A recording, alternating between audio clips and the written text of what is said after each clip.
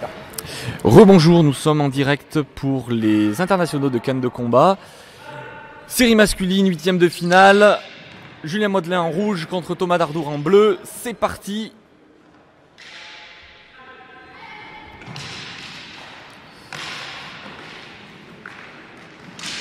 Ça part extrêmement vite.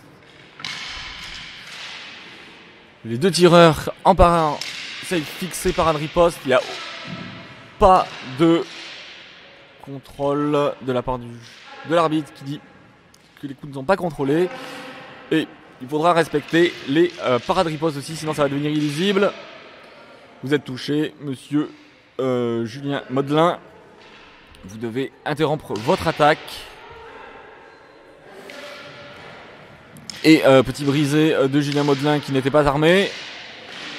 Celui-là il est, le deuxième ne l'est pas. L'arbitre le reprend instantanément. Sur l'air, euh, donc je ne pourrai malheureusement pas vous streamer euh, le combat de David tout de suite, mais par contre je tâcherai de streamer l'assaut euh, en toute fin de matinée de l'Antonia. Ce sera quand même sur l'air 2, mais on se débrouillera. On revient dans cet assaut latéral extérieur qui touche.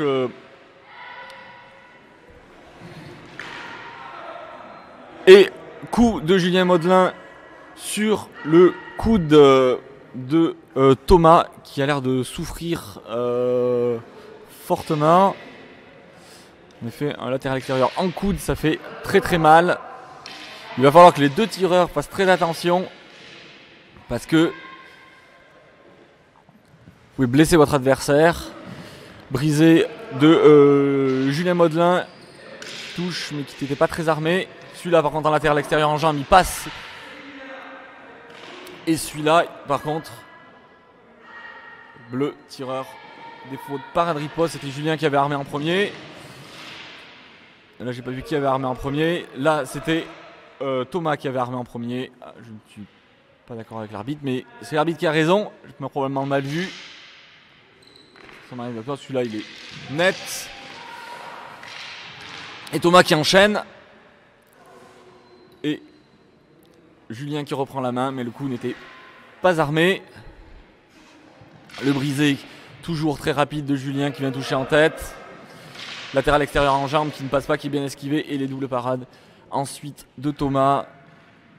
Sur cette attaque, Julien qui essaie d'attraper la jambe avant. Thomas la tête, ça ne passe pas. Julien, latéral extérieur, paré, paré. Les deux tireurs qui cessent de se coller, réduire les distances, changer les dynamiques de combat. Très bel assaut, hein. c'est très dynamique, très agréable à suivre. Et fin de la première reprise. Euh, bah, c'est une première reprise très très disputée.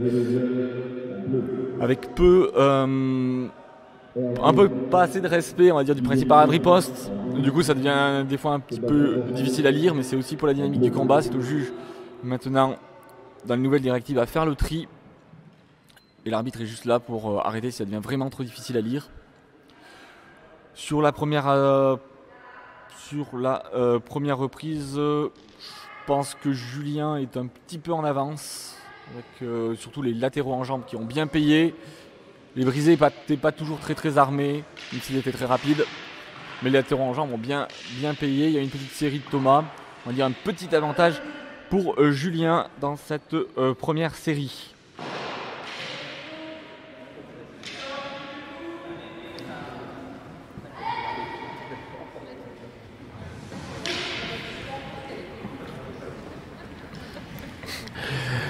Très bien, donc euh, là en ce moment David est en train de tirer sur l'air euh, 2 d'après ce que je peux voir.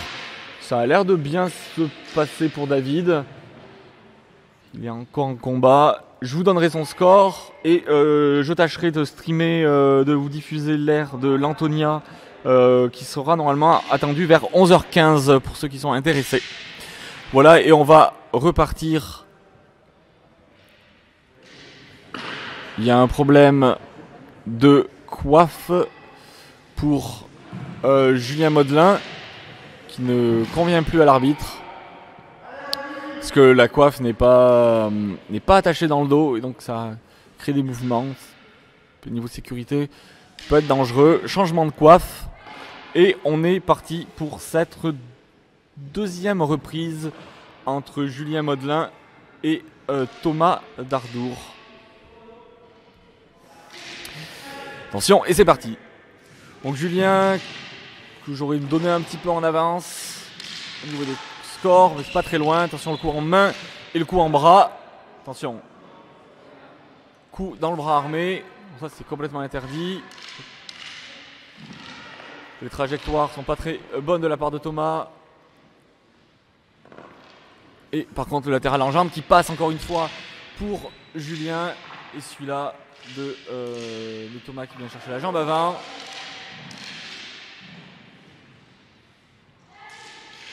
Thomas qu'il faut qu'il fasse ça, son petit retard. Là, le latéral en flanc qui touche. Ah, Julien, c'est Thomas qui respecte pas c'est Julien qui respecte pas le principe de barrage riposte. Il était touché. Il n'a pas le droit de reprendre la main. L'arbitre lui en fait le retour.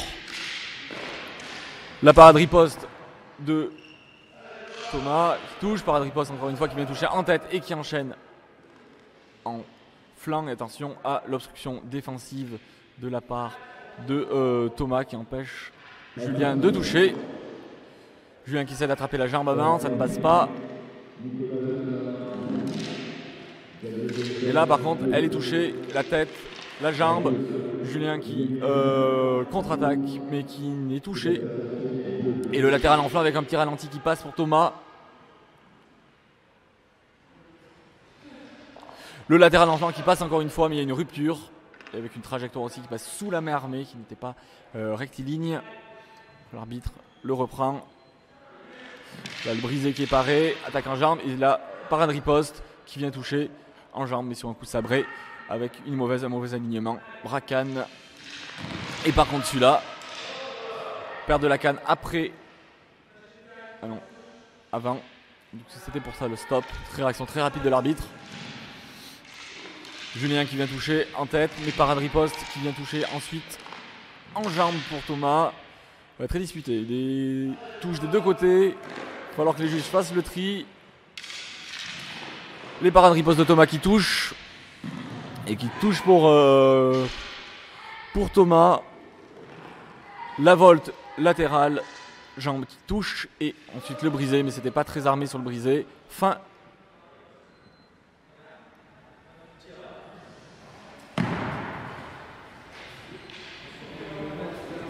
Et l'arbitre qui refait une remontrance.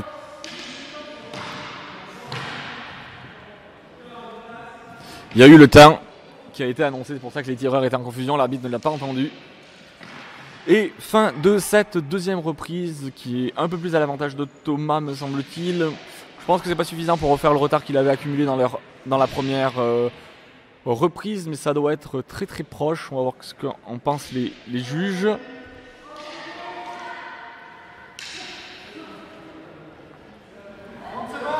30 secondes. Les tireurs sont appelés à se rééquiper. Je jette un petit œil sur l'air. De.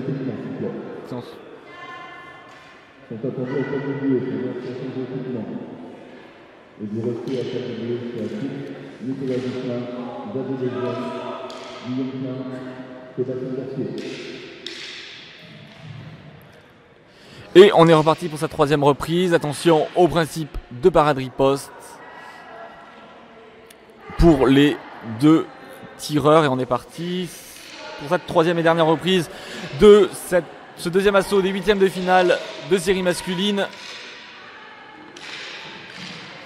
Parade riposte de Thomas qui touche en jambe. Et là, par contre, parade riposte de Thomas qui enchaîne. La parade riposte de Julien. Et Thomas est repris pour une obstruction défensive. Alors Thomas prend des coups euh, dans les bras, mais c'est aussi parce qu'il met ses bras au niveau du flanc. Et du coup, c'est interdit. Et attention aux coups, euh, ça aux manchettes qui doivent bien être tenues. Il y a eu beaucoup de remontrances au niveau des tireurs pour les pour la tenue des cannes qui sont pas toujours tenues par le vraiment l'extrémité Beaucoup de coups sabrés aussi, on a vu. Parade riposte, parade riposte. Et le latéral, le, le croisé haut qui ne touche pas. Et un problème de gain d'équipement pour Thomas. Petite pause technique et c'est reparti. Julien qui enchaîne directement avec le latéral croisé, mais il est touché dans le coup. Unanimité vainqueur sur l'air 2 pour David Leblé. On a entendu les résultats, je vous les donne tout de suite en live. Résultat, David Leblé qui remporte son huitième de finale et qui passe donc en quart de finale.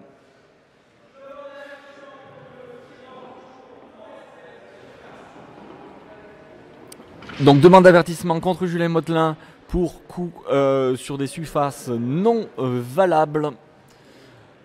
Beaucoup de coups sur les bras, sur les genoux, sur les cuisses qui est non autorisé. Et sur celui-là, l'avertissement est euh, prononcé. Et donc euh, l'avertissement prononcé contre Julien. Parade riposte. Et là, la parade riposte, l'esquive riposte qui touche pour Julien. La parade riposte qui touche pour euh, Thomas. Et là, anti-jeu de la part de Julien qui s'approche. Parade riposte et qui touche en jambe. Et euh, Julien qui répond mais qui n'avait pas euh, la priorité. L'esquive riposte, anticipation qui touche pour Thomas. Thomas qui fait bien son, retour sur cette troisième reprise. Et la touche pendant la volte. Et là, par contre, aux deux tireurs, il va y avoir un avertissement pour non-respect du principe par riposte de la part de Thomas. Défaut de priorité. Julien avait repris la main. On va voir juges euh, suivent les euh, suivent l'arbitre. L'avertissement est prononcé.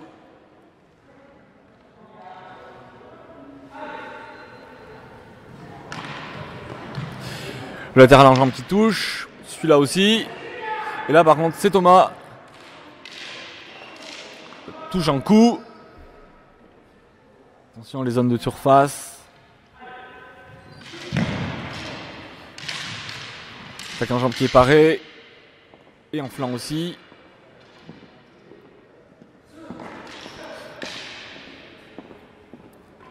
Problème de parade riposte, c'était Thomas qui avait armé en premier. Lâché de canne, mais reprise, il n'y aura pas de pénalité. De parade. Zone neutre.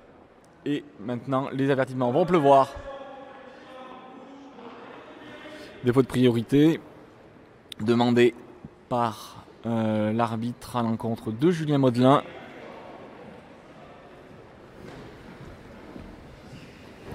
Beaucoup d'avertissements. Et l'avertissement est prononcé. Attention pour Julien, deuxième avertissement. Pas qu'il en prenne un troisième. L'esquive riposte. Et là, la touche nette en tête.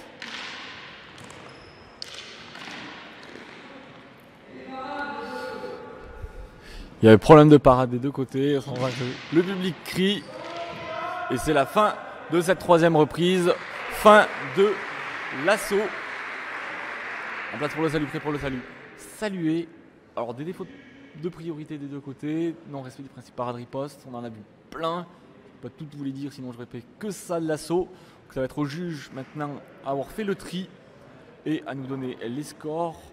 Il y a des avertissements des euh, deux côtés. Globalement, euh, je, je sais pas. Je pense peut-être un petit avantage. Je pense que ça va être Julien qui devrait passer, mais je ne parierai pas Donc en effet, je vous ai donné les résultats euh, en live, je vais les répéter maintenant que c'est un peu plus calme. Donc euh, David Leblé qui a remporté son huitième de finale à l'unanimité des juges. Donc euh, je vous l'ai dit, hein, je pouvais voir de coin de l'œil sur l'air 2, ça se passait bien pour lui. Et donc il passe en quart et les quarts seront joués vers, vers midi, en 11h45, midi, quelque chose comme ça. Et de toute manière, on a eu confirmation de la part du DO il va y avoir une seule et unique R pour les phases finales, c'est-à-dire petite et finale des deux séries masculines et féminines. Et donc, déclaré 20h à l'unanimité, bleu pour Thomas Dardour.